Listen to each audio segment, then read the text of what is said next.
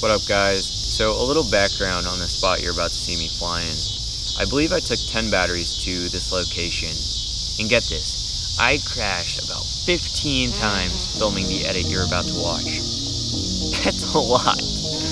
I tell you that because I see a lot of comments like, you never crash. I probably crash more than you. A lot of pain goes into these edits, so I hope you enjoy and let me know what you think in the comments down below.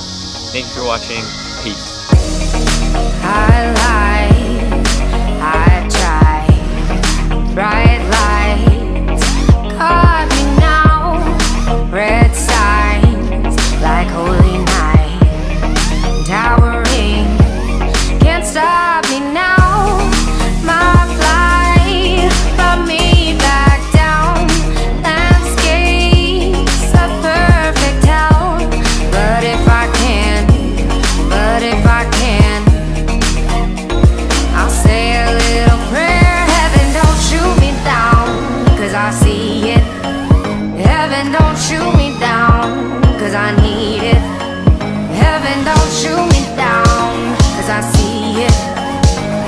don't shoot